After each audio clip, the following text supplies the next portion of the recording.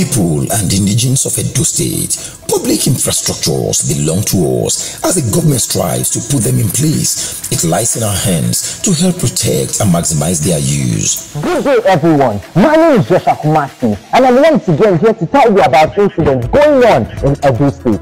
The governor, Godwin Obaseki, and his team have set out to put street lights to brighten up and help liven up the experience of people and indigenes living in Edo State. The state has been seeking progress. People have been craving for growth and Godwin Obaseki and his team of diligent workers set out and have been achieving and breaking each of those boundaries. But now problems have arose. People have been drinking and driving, crashing into these streetlights that have been helping to brighten up the state, destroying infrastructure and causing harm to themselves and the people around them. This behavior is intolerable. Drinking and driving already is not an acceptable act and you should know that when you drink, you should not drive. And when you want to drive, you should not drink because you will endanger yourself and the people around you. These street lights cost a lot.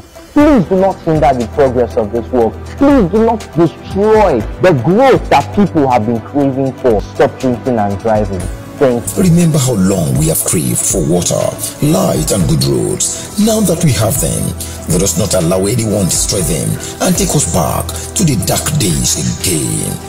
Guide them jealously. Great people of Edo State, in the case of infrastructural maintenance, accidented poles, vandalized cables, general theft, illegal connection to Edo State government electricity lines, and accidental traffic lights, call these numbers. My brother, my sister, no forget say this light now property o. Make we no allow anybody vandalize am for us. Resolve to protect our collective property. You see something? Say something. This info is powered by Healer Land, O oh Lord, ably led by Apostle Alfredo Dion Yunusa.